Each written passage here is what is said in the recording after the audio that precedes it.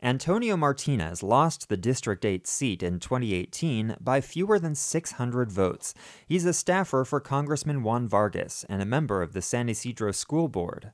I feel that our communities in District 8 have been neglected. Martinez says he's running because he thinks District 8 hasn't been given its fair share of city resources, and he can do a better job fixing that inequity. Frankly, I feel that the current person that's there now is not doing the job to get that done.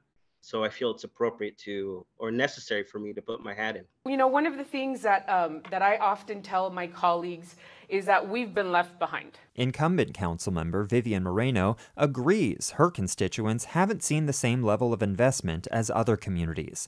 But she says she's made progress on raising the priority of projects in District 8, like the planned expansion of the San Ysidro Transit Center. Here she is at a town hall last April. When I joined um, SANDAG board and when I joined MTS, I said this has to be our number one project. Why? Because 12,000 people go on this trolley on any given day. The 2022 election is unlikely to be as close as the 2018 matchup between Moreno and Martinez. They were the only candidates in the June primary, and Moreno won that race by 27 points. Andrew Bowen, KPBS News.